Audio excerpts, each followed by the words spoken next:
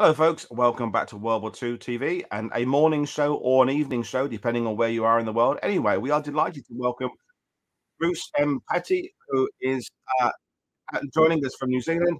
He has lived in Saipan for several years. He's also compiled a series of books uh, on the oral histories of the battle. His books can be linked below and found through his website. Now, Bruce, you've got it seems that you have you got YouTube open, Bruce?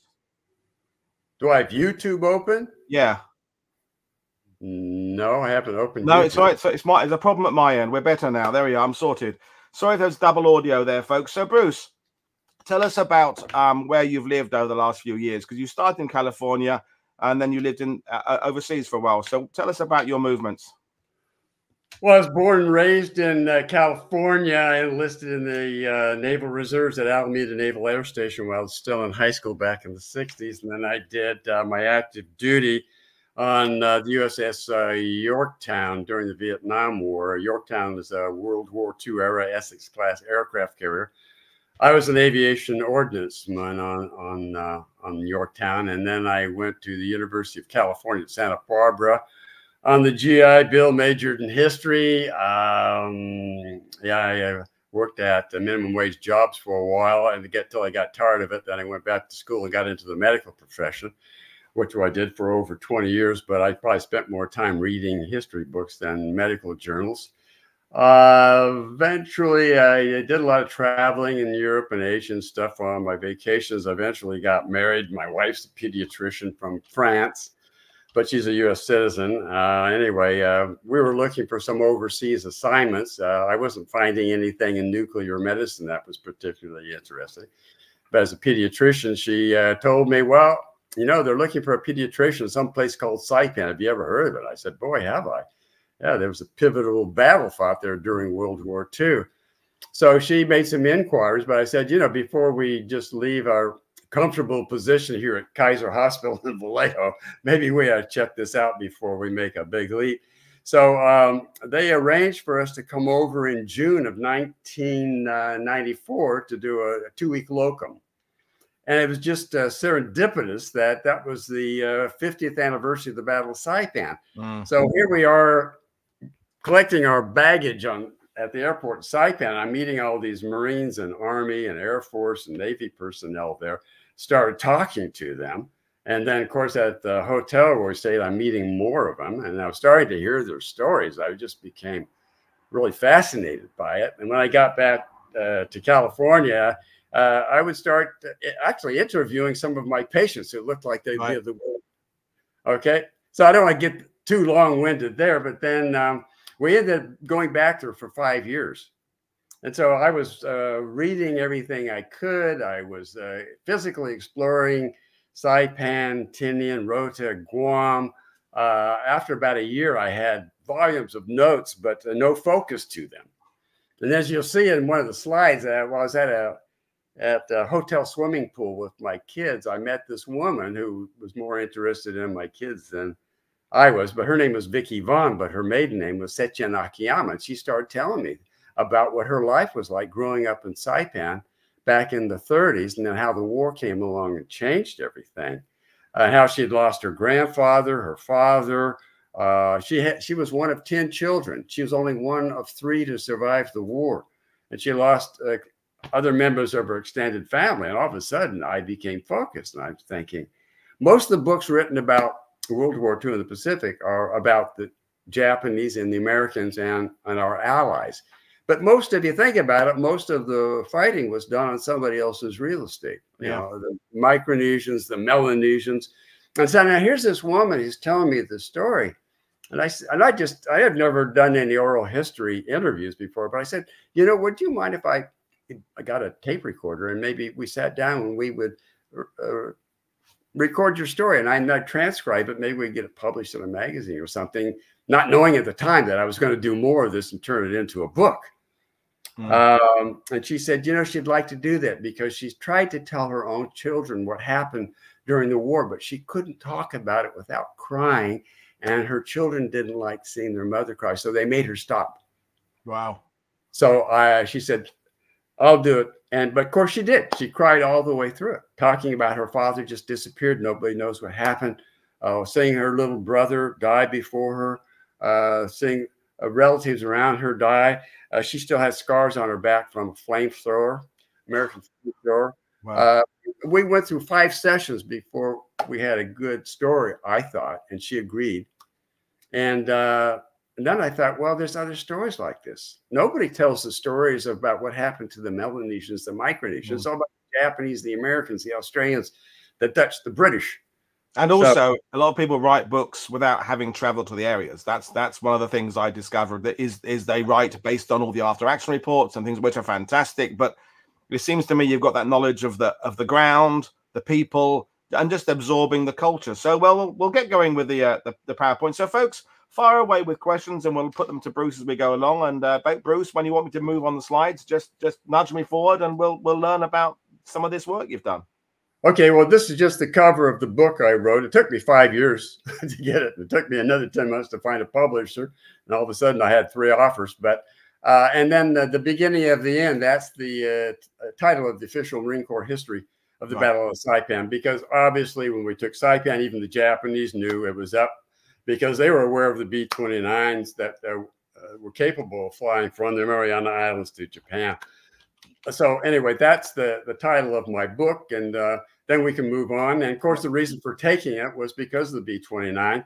Uh, it was twice as big as the B seventeen. It was, matter of fact, the most expensive project in World War II. The B twenty nine more expensive than the Manhattan project. Yeah, right. Yeah, right. Uh, it's twice as big as the B 17, had pressurized uh, fuselage, uh, computerized gun systems, had a lot of bugs in it, though, of course, especially the engines overheating. But that was the reason they took it. And of course, as soon as the Seabees could get in there on Saipan and Tinian, later Guam expand the uh, airfields that the Japanese had built, and uh, the war was taken home uh, to the Japanese. So we can go to the next slide. And of course, I like to use maps. this is just the, the Pacific overall, pointing to where the Mariana Islands are. But I like to use maps in all of my lectures because, as I've discovered uh, from uh, an article I'd read some years ago, uh, when American high school students were tested on their knowledge of uh, geography, over 50% of them thought they lived in Brazil. So, um, well, every time we do a Pacific show, Bruce, we just add that reminder it's big however big you think it is, it's bigger than that, and the distances are extraordinary. And you know, you see a map like that where it looks like all those island chains are just you know close together, but the, the scale is ridiculous. So the, the Pacific is big. It's an odd statement, but it's absolutely true. Absolutely correct. And we can go to the next slide. And this is just give you the uh, a close up of the uh, Mariana Islands. It's uh, sort of uh, an arc of islands that runs north to south. Uh, they're all volcanic in origin. Some of them are still active. Uh, Guam is the biggest and the oldest, but there's uh, no volcanic activity there. Same with Rota, same with Tinian and Saipan. But as we get further north, if you uh, notice Anatahan, uh, it started erupting again back in 2003. And during the war, when B-29s were coming back, you know, there were submarines and ships all all up and down there to rescue some uh, crews from B-29s that couldn't make it all the way back to base. And for whatever reason, a B-29 coming back to Saipan or Tinian from a mission decided to crash land in the caldera on An- Anatahan. I don't know why they didn't uh, land near the in the water, but uh, there were 21 Japanese holdouts on Anatahan they didn't surrender until 1951 or 1952. Hmm. So there's 20 guys and one woman. Uh, they got to that uh, crash site. All the crew were dead. So they used the parachutes to make new clothing, some of the aluminum make pots and pans. And they also took the, uh, the um, sidearms from the crew and they started fighting over the women. Uh, but that's a whole nother story. Hmm. Uh, but we can move on to the next slide. And uh, this is the woman you see in the photograph is uh, Akiyama. She's the one who got me going on this. She was the first oral history interview I did with that. And the photo on the uh, on the right there, that is her father, who came down to Saipan in the early 20s. He was a student. He fell in love with Saipan and also fell in love with a young Chamorro woman who he eventually married and had seven children with. That's uh, that is uh, Vicky or Setchen's uh, mother, but she died sometime in the 30s. And then he married her sister and had three more kids. But like I said, when I talked to her, she told me that she was only one of three of the 10 who survived. And this is a photograph I took with uh, my two daughters who uh, uh, were quite young at the time. The one on the left, uh, Anne Marie, she is now a captain in the U.S. Army. So, mm, brilliant. We can move on. And, uh, you know, a lot of people think, well, uh, the Japanese were really cruel. Uh, they really exploited people. Wherever you think of uh, the rape of Nanking, you think of uh, of the Bataan death march. All that was true. But see, uh, the Japanese were an ally in World War One, and uh, when we went, when the when England and France went to war with Germany, they simply moved down and took over what was then German Micronesia and Melanesia because, of course, the, the, Germans had purchased all of these uh, Micronesia from the Spanish in 1899 after the Spanish American War. And they were only there for about 15 years. They were there for economic reasons. They didn't build it up militarily. Uh, and the Japanese simply came down and chased the Germans away. There was no bloodshed. And after with the Treaty of Versailles, they were allowed to stay there under a, a Class C mandate under the old League of Nations. And basically, they were there for economic reasons too. They had a population explosion in Japan, and they couldn't even grow enough food to feed themselves. So uh, they sent a lot of their people from Okinawa and Japan down there, and they exploited the islands for economic reasons. They uh, uh, introduced sugar cane, coffee, pineapple. Uh, a lot of them intermarried with the people. Uh, they treated the locals, the Chamorros and Carolinians, like second class citizens. They had to go to segregated schools. They couldn't go past the fifth grade, but they brought a real economy to the islands for the first time. Uh, and uh, uh, of course, this all changed then when World War II came along, and then the Americans came along and pretty much obliterated the place. Mm. And I interviewed people who grew up during the Japanese period, and they say, "You think you Americans think you came here to liberate us? You didn't liberate us. You destroyed the place, and and then when the war was over, you just left us to clean up the mess." Uh, and when I was living there in the 1990s, every spring and summer, there were Japanese, Okinawans, and even Koreans who were living there because Koreans were nominally Japanese, according to the Japanese at that period, and they would come back uh, for reunion. They, they would commemorate their friends who were who they lost there during the war, but they also came back there to meet with the families that they had been so close to before the war came along. So uh, that's why I refer to 1914 to 1944 as the golden years for the Chamorros. It's much better now Mm. Uh, but you know what got the economy going is back in the 60s and 70s when they opened up the Mariana Islands for uh, for foreign investment. And who came back first? It was the Japanese. They built mm. hotels, golf courses, and they brought the economy back. The Americans didn't. Well, thanks for that insight. And this is just a map showing the landing beaches. Uh, this involved two uh, Marine Corps divisions, the 2nd and 4th Marine Corps Division, and one U.S. Army division, the 27th, which initially were being held in reserve because they wanted to use them for the landings on Guam that were supposed to take uh, take place later. But the Japanese were putting up so much resistance that they started feeding in the 27th piecemeally. And um, but this shows you where they went. Uh, the, um, I think it was a the 505 uh, battalion of the 27th. Uh, they were um, dedicated to securing Naftan Point on the southern. Right. They secured they secured the air base there. Then the Second Marine Division they were dedicated uh, to moving up the west coast of the island along the coast. The Fourth Marine Division came over to the east coast and were moving up towards the north end. then the 27th had the the toughest part. They had to come through Death Valley because they had these two, uh, two ridges on either side of them dominated by the Japanese. Then the idea was to move in a contiguous line north, pushing the Japanese uh, uh, up to the north end of the island. Go to the next slide.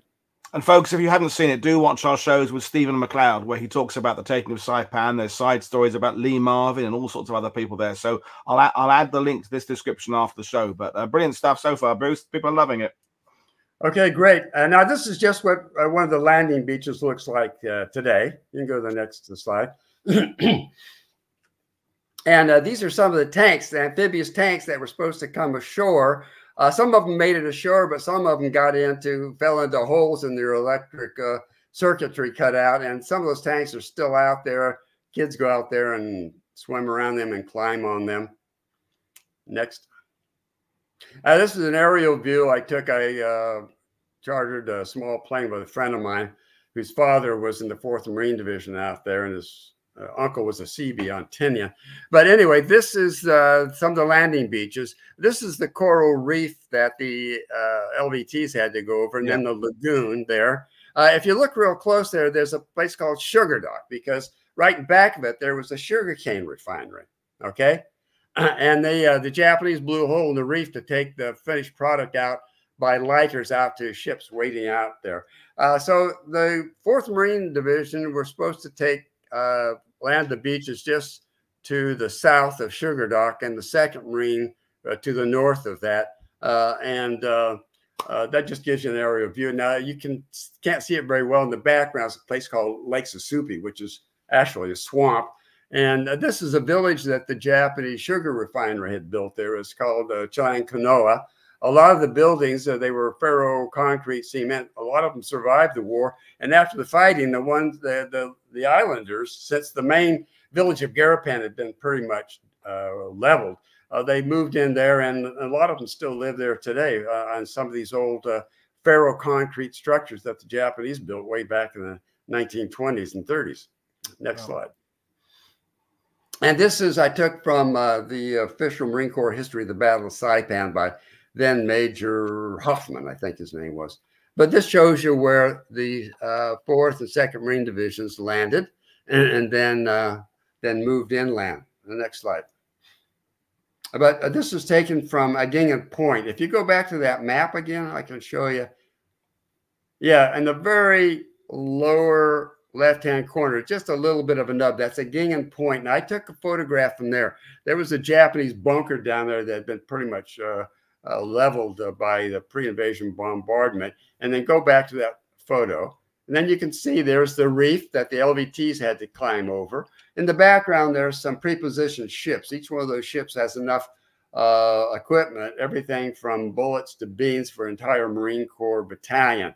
Uh, I got to visit one of those. The captain of the ship said during the first Gulf War, those ships were sent over to Saudi Arabia. The Marines were flown in. They offloaded all their equipment there before going into Kuwait. But you can see the reef there. They had to go over that. They were in the lagoon. And then next slide. uh, this is an archival photo. It's taken the north end of Saipan. You can see an airstrip there. The Japanese were started building it. Uh, after the island was secured, the Seabees finished it, and uh, they flew uh, P-47 Thunderbolts off there. Matter of fact, when I gave a talk in Monterey oh, some years ago, a guy came up for, uh, after my lecture and said, yeah, he flew P-47s off there. Uh, not a very good photo, but up to the right a little bit up, you can see some of the ships that were involved. Yep. Over, over 500 uh, uh, ships. Most of them coming from Pearl Harbor. A lot of it came from uh, Kwajalein. Um, and uh, you notice the cliff here. That's called mm. Suicide Cliff because as the Japanese were being pushed north, a lot of the Japanese who got there, they had no place else to go. And a lot of them threw their children off the cliff and then followed them. That's over 800 feet high. Now, if they refused to jump, the Japanese would kill them. Mm-hmm. So it's a question of how much of that was murder, how much of it was suicide. Yeah.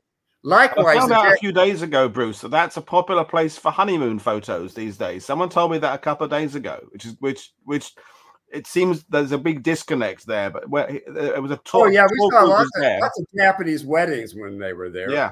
Uh, but that now the Japanese that were on each coast when they were pushed up to the north end of the island. If you look down in the lower right hand corner, you can see a little cliff into the ocean. Yeah.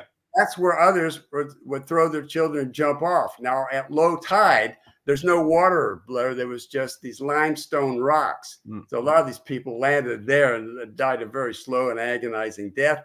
Again, Japanese soldiers, if they uh, hesitated to jump, they were murdered. I interviewed a couple of people who were on destroyers sailing around the island and one of them, who was a gunnery officer on USS Twining, said when they sailed around the north end of the island after the fighting was over, uh, it was like a Sargasso Sea of dead bodies. Terrible. Yeah, and some of the ships put uh, boats in the water to try to pull some of the women and children out, but the bodies were so thick. Uh, one guy told me that they tangled the propeller on the ship's boat. So, rather, really, some horrific stories to, mm. to, to be told there. Next slide, please. And this is after the uh, Saipan was secured. Uh, this is an aerial uh, view of the north end of the island. You can see the fighter strip there, but you can see all these Quonset huts there. Because after Saipan was secured, it also became a supply and support base for future operations, namely Iwo Jima and Okinawa, and for the planned invasion of the Japanese home islands that uh, never took place. Now, a lot of I've been in there.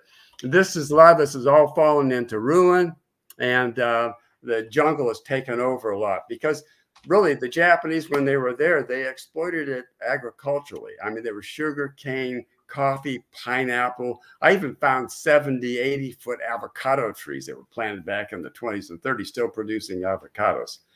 Next slide, please.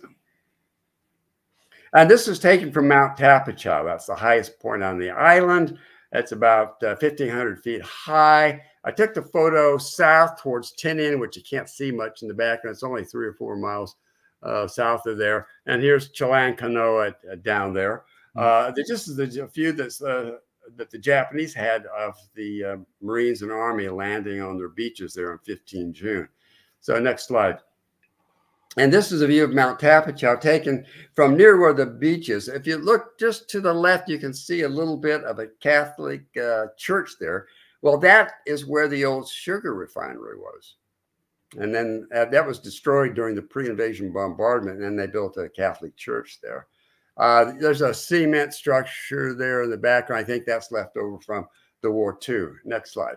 Just talking about the bombardment, we had a question from one of the viewers is saying on another podcast, one of the mistakes made by the US forces on Saipan was the lack of heavy artillery brought onto the island early in the campaign. Is that something you would agree with?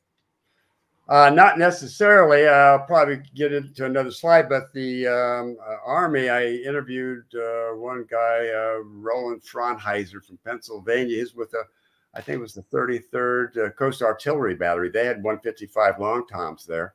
They had quite a bit of artillery that they brought ashore. Okay. Okay. Thanks. Uh, okay. Now, this is going back to uh Mount Tapochau uh, because I interviewed Frank Borta. He was uh, one of many underage uh, veterans from World War II. He was 16 years old. Uh, he was part of what they called the Bastard Battalion, 1st Battalion, 29th Marines. Uh, they were in California at the time. Uh, they were being put together to be made part of one of the new Marine Corps divisions that was coming along. but because they lost three LSTs in West Loch and Pearl Harbor prior to the the Saipan campaign and lost a lot of equipment and men. At the last moment, they decided to make the uh, 29th Marines uh, temporarily attached to the Second Marine Division. So they, so that's why they called themselves the the Bastard Battalion. But there was elements of one of the platoons that found a way up to Mount Tapochau, and they held it there there weren't a lot of Japanese up there. They held it and then they sent a runner back down to let headquarters know that, hey, we, we're up here, but we need reinforcements. So they got them up there. They held off the uh, they held off the Japanese, uh, and they were up there for about two and a half weeks before the battle was finally secured. But I think there were about 1,200 Marines in this uh, 29th Marine uh, Regiment, if I remember correctly. And according to Frank Borta, by the time they were pulled off the line two and a half weeks later, of those 1,200, there were only 200 left alive mm. or not wounded. Now, uh, Marvin Avila, who I made contact with after my book came out, this is interesting because you're doing these oral history interviews. There's only a couple of guys up there. Frank Borta tells it one way. And then when Marvin Avila reads his oral history, he says, No, that's not true. It happened this way. But another thing that Marvin, that's one of the things about oral history interviews, you know, you kind of try to try to corroborate what people say.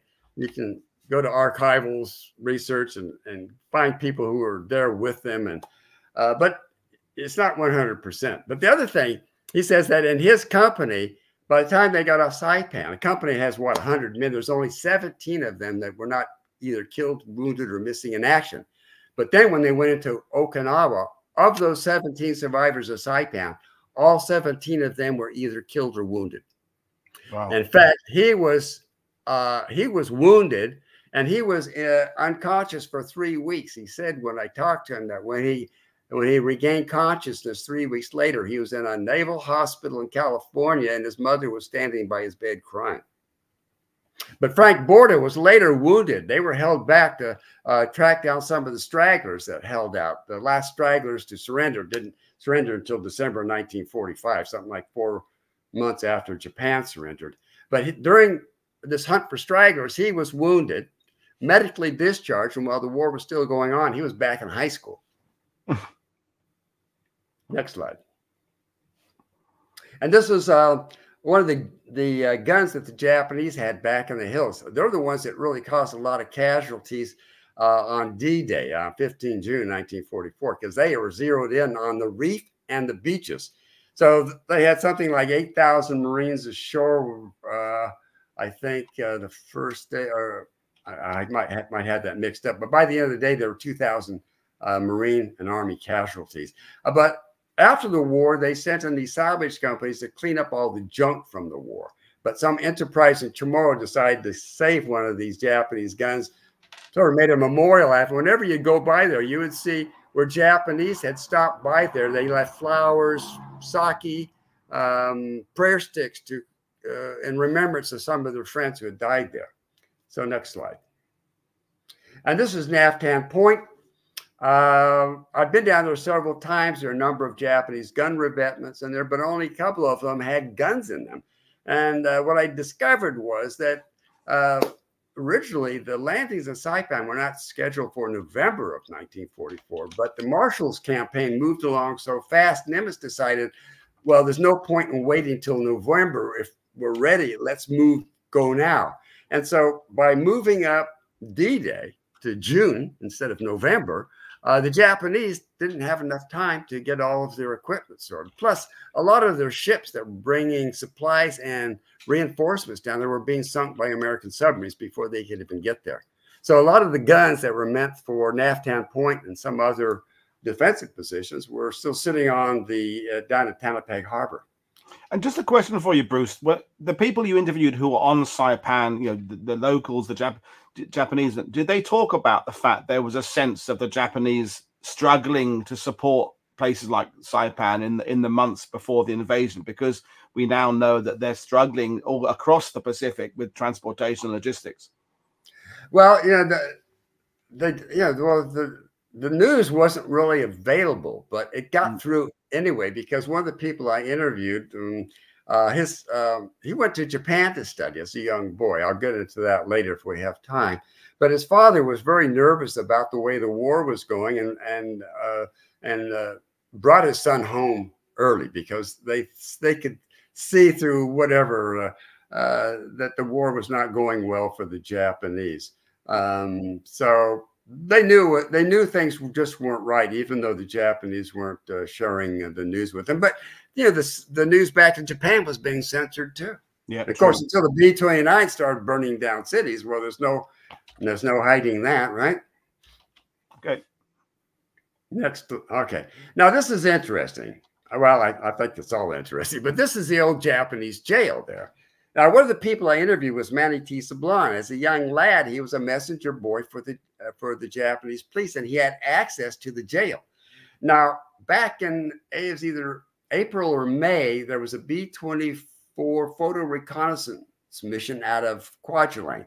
They flew over uh, Saipan and Tinian taking photographs. One of the B 24s was shot down uh, crashed in the ocean. There were four survivors, according to Manny uh, T. Sablan.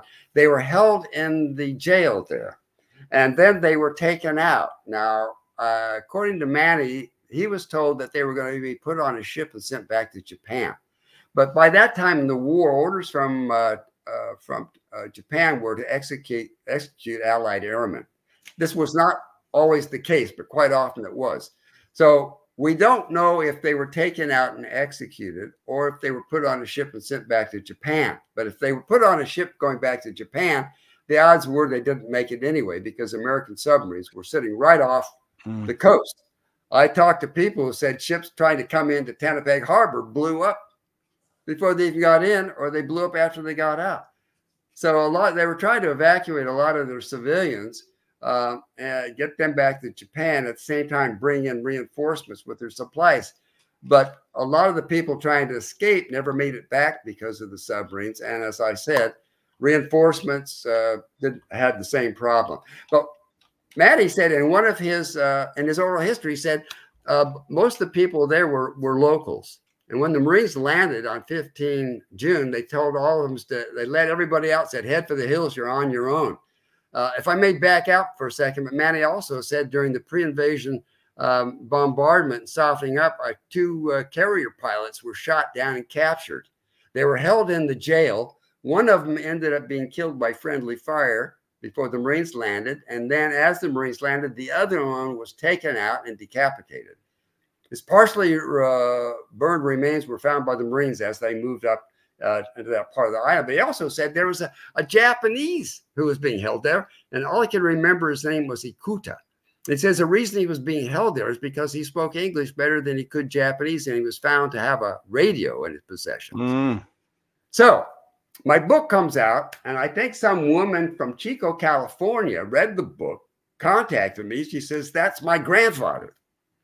And the story goes that his family immigrated to uh, California in the early 1900s. Uh, he was only 12 years old. He grew up in the Oakland, Berkeley area, went to school there, married a Caucasian woman, had three children. For whatever reason, the marriage ended in divorce. He went back to Japan and at some point ended up on Saipan. But we don't know what happened to him after that. He was let out of prison, but at least after the book came out, this woman filled me in on who this guy really was.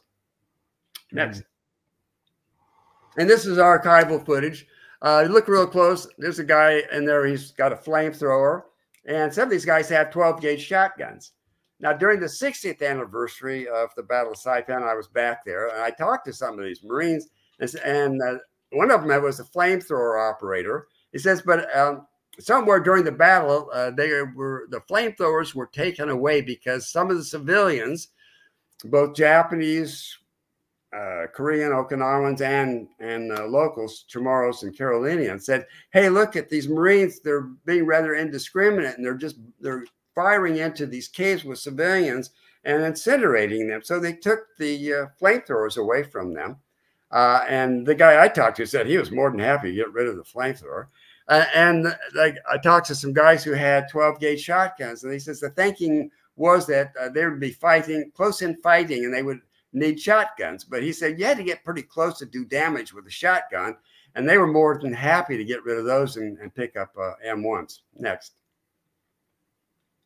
And a lot of caves, uh, a lot of natural limestone caves around there. Some of them are are uh, man-made, but I go in there. There was all sorts of uh, artifacts from the war, and a lot of these places you'll see there's uh, incense bottles, prayer sticks, and there was a letter. I don't know if it's written in kanji or whatever, but I found that in one of the caves. Somebody had left a letter.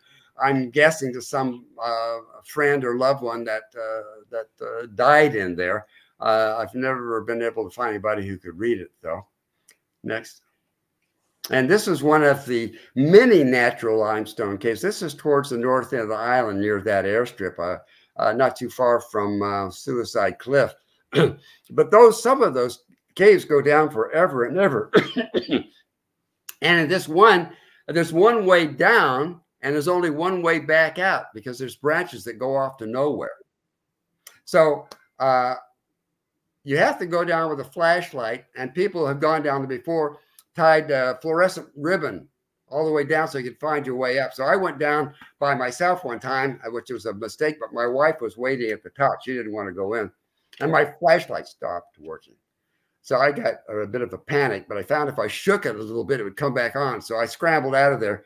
But from that point on, I, when I went into caves, I made sure I could see the entrance from wherever I was. I became a bit claustrophobic after that. Next mm-hmm. slide. And, and it was in that cave that uh, I found this Japanese writing in one of the stalactites. And I had it translated, and the guy who had it trans translated said this was a suicide note, something to the fact that uh, the following individuals are, are, uh, are going to die here for the emperor. Wow. So that, that's what he said it was said. So I can't verify. Next. Yeah, and this is very typical. A lot of the caves I found, uh, a lot of broken pottery, uh, pieces of clothing. If you look close, you can see some human long bones in there. Uh, people were either killed there by satchel charges, flamethrowers, or maybe they committed suicide there. I don't know. Next. Uh, this was uh, a Marine I interviewed. Uh, he, see, a lot of those guys, uh, they were collecting souvenirs to take home swords, flags, whatever. Uh, and some of them, you know, they go back to the ship if they survived the fighting, and the sailors who couldn't get ashore would pay money for anything. Uh, he told me he could sell a Japanese helmet for five dollars, but if he put a couple of bullet holes in it, he could get fifty. and uh, one Japanese that he killed, he took the wallet out and he found this photograph of a young woman and a child. So uh, there's a sad story there. Uh, this mm-hmm. woman probably said goodbye to her husband, never saw him again, and has no idea what happened to him. Uh, but this happened all over the world during World War II. Every country, people went off, never came back. Their families don't even know what happened to them. Hmm. Uh, next, next photo.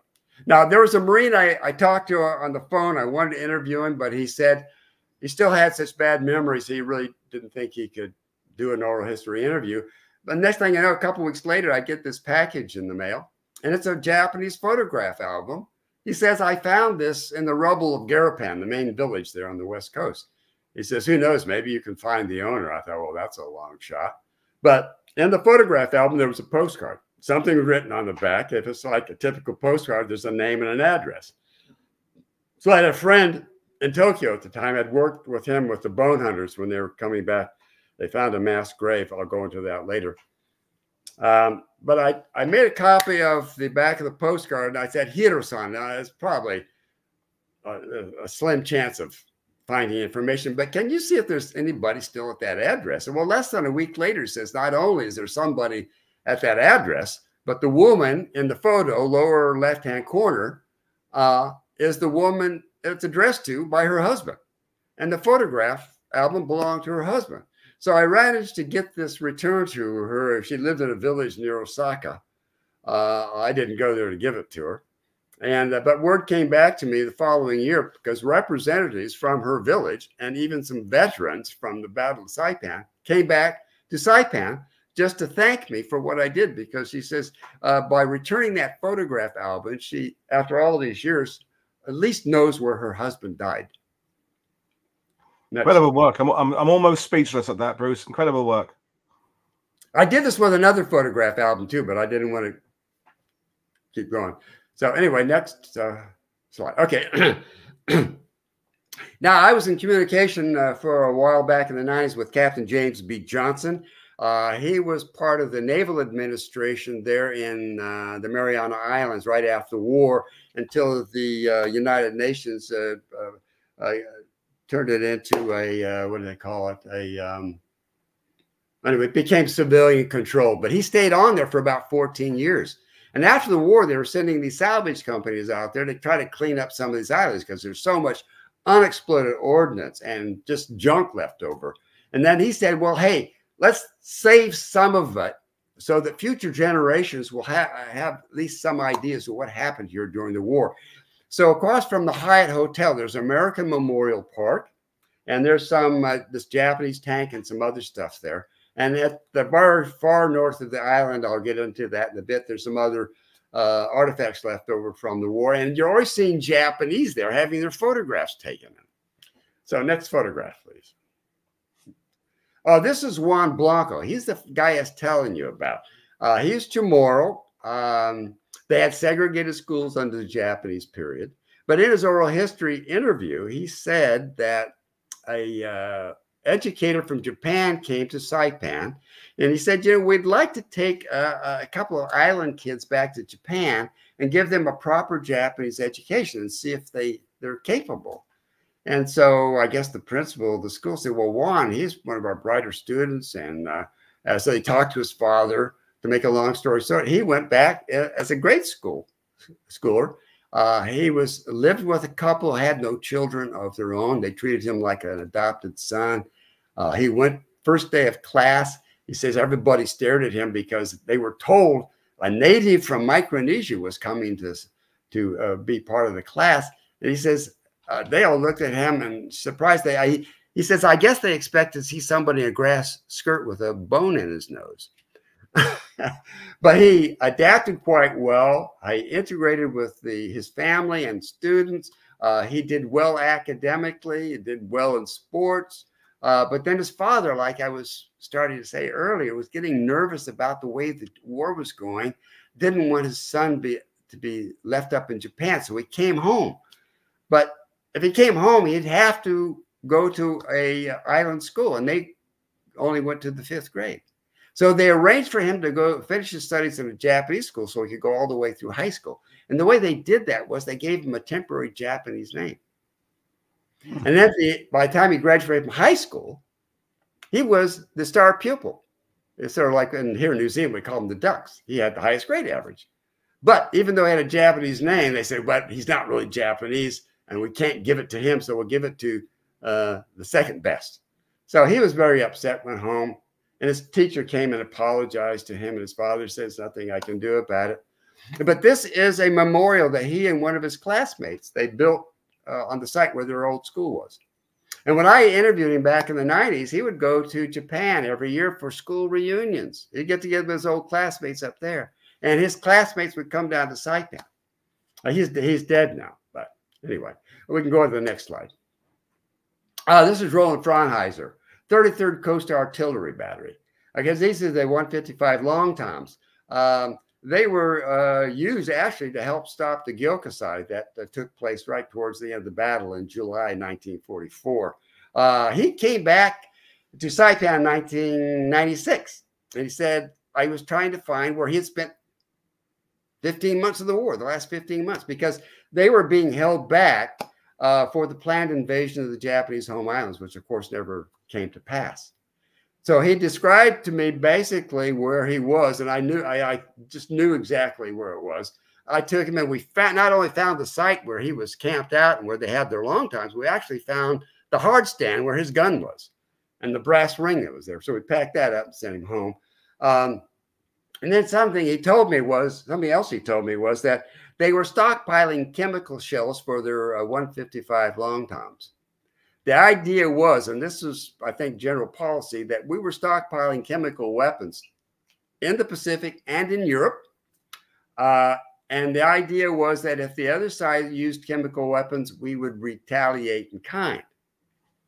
Uh, matter of fact, there was a Liberty ship uh, off Italy that was hit by a Stuka and it contained uh, chemical weapons and it killed a lot of people, not only on the ship from the chemicals, but people ashore. But I asked him, I said, well, after the war, what did they do with those chemical shells? And he says, I don't know.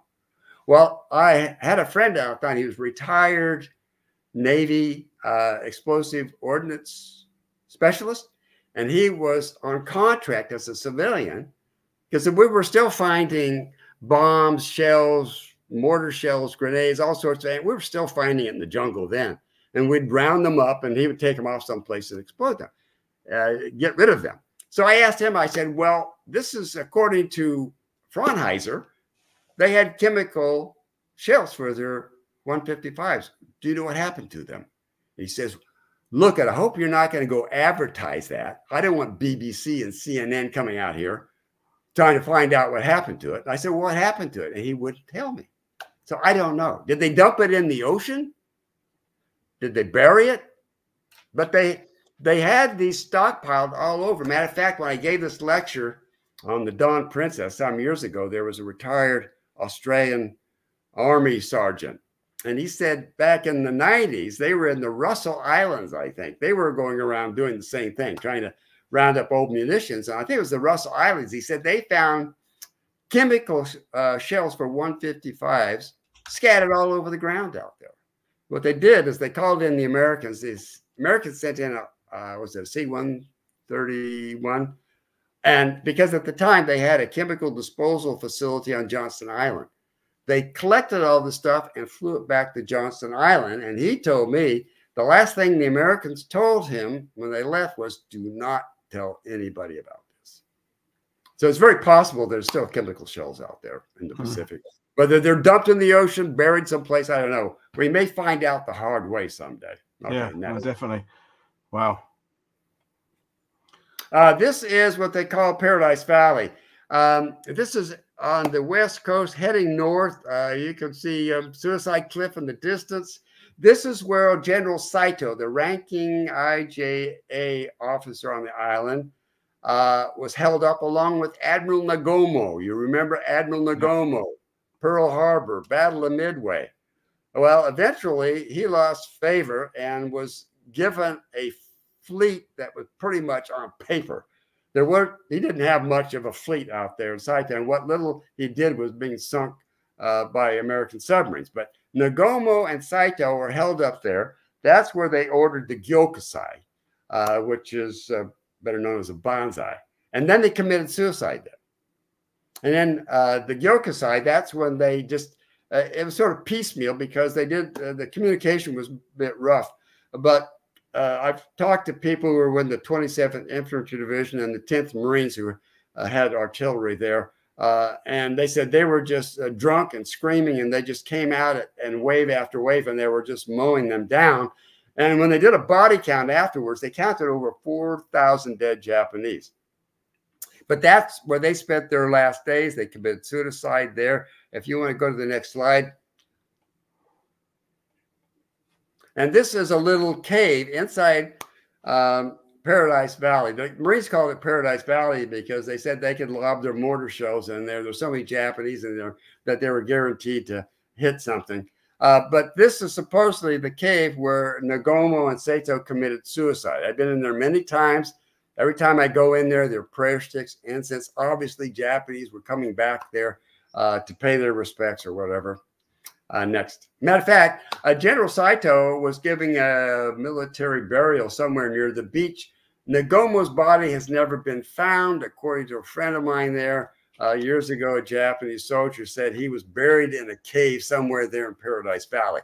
Now, what we're looking at here is Suicide Cliff. I, I took the photo from the bottom. It's over 800 feet high. That's where people threw their children and jumped. Uh, if they didn't, then the Japanese killed them. Uh, now, next slide. And this is I took from the top. Uh, now, according to witnesses, you know, it's not straight down. So a lot of the people kind of hit and bounced down.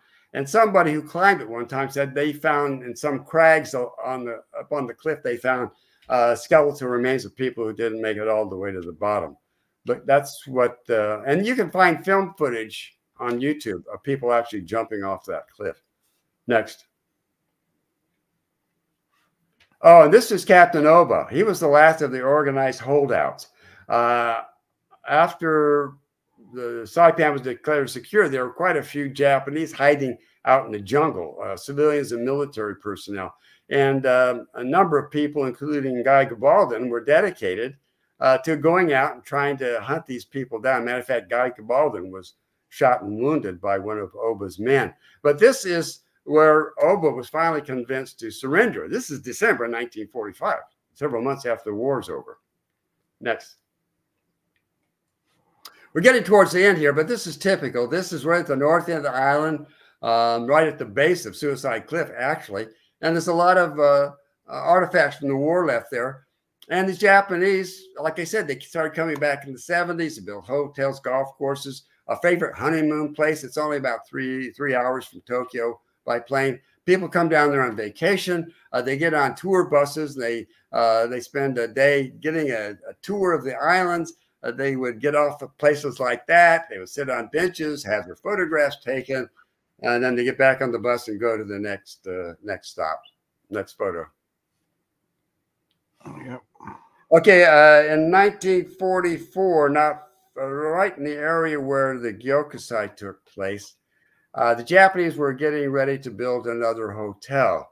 It was right just the south of Aqua Resort where I used to take my kids to go swimming. they were boring some test holes there before uh, starting construction, and the test bores still bringing up skeletal remains. So they stopped Uh, they notified the Japanese consulate. They brought in the bone hunters. That's what we called them. and they started excavating uh, the place and uh, they found a mass grave there. They think they pulled at least 500 remains out of there. And these were some of the people who were part of that. Now, uh, one of these guys I talked to had a farm in the area uh, back before the war. This fellow on the far right was one of the few Japanese soldiers to survive the fighting. I mean, they had an estimated 28,000 combat personnel there, and I think fewer than 2,000 actually survived. And um, so I got to talk to him. Um, and I said, Well, why did you surrender? Were you wounded and you couldn't kill yourself? He says, No, I just got tired of fighting and threw my hands up. And I tell Well, you're very lucky because the Marines had a habit of uh, killing Japanese soldiers, even if they tried to surrender. Uh, so what's next? Is that the end of my slides? Um, we got one more, I think, or is that just a? That's just no. There we go. One well, more. I have to mention that because the Chinese have been uh, making moves in the area. Uh, some years ago, when I was there, uh, they tried to pass a law allowing the Chinese to build casinos there, and the people voted it down. Well, somehow the Chinese got back in there after I left. I don't know if they bribed local politicians or businessmen or whatever. So they're there in force, and this is this is Garapan, the main village there. Uh, and they started building this casino. It's massive. Uh, then they brought in Chinese workers disguised as tourists, but they never left. And then they ran out of money and they couldn't finish the job and they couldn't pay their employees. So these Chinese tourists who were working on the place went on strike. So the FBI got involved. Um, anyway, it's a monstrous. It just it just sticks up above everything else like a like a giant hemorrhoid is the way I describe it. anyway, anyway, the Chinese are, are, back there. They do have designs on the place as part of what they call this second, second island chain. Uh, if they get their way, uh, they will push the Americans back as far east in the Pacific as they possibly can. Hmm. I belong to the United States Naval Institute, so I get their proceedings, and in every issue, there are articles about how the Marines, the Navy, the Coast Guard are uh, preparing for future war with China. So, well, anyway, that, that's it. There's much more I could share with you, but I you wanted me to keep it. Well, I'd, li- I'd, like to you to share a couple of stories because I used a couple of the photos you sent me to make the graphic for YouTube. So, um, Joe and Norm Stanton, could you just share their stories quickly? Well, that uh, his uh, uh, Norm Stanton's oral history is in my book uh, Voices from the Pacific War. Uh, that's having been a, a petty officer uh, in the Navy during the Vietnam War. I wanted to get the stories of enlisted personnel in the Pacific, and Norm was one of the people I interviewed. He didn't go into the Navy until 1943, but before Pearl Harbor, his older brother, after graduating from high school, went to the Navy. He was made part of the Asiatic Fleet uh, under then Admiral Tommy Hart. Uh, and Tommy Hart was so convinced that war with Japan was going to start at any moment, he moved most of his ships out of Chinese waters down to the Philippines, where supposedly uh, General MacArthur's Air Force would offer some aerial protection. Of course, MacArthur lost his Air Force uh, within 24 hours, and he had to send his ships, uh, scatter them to other parts of the Philippines, eventually to the Dutch East Indies. And then, as that fell apart, the Japanese were moving into the Dutch East Indies. A lot of these ships tried to escape to Australia.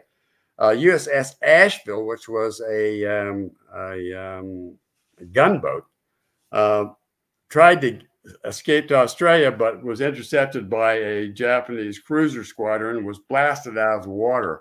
Only one member of that crew survived. And the only reason he survived, according to my information, was because the captain of one of the cruisers wanted to know information about the ship they had sunk.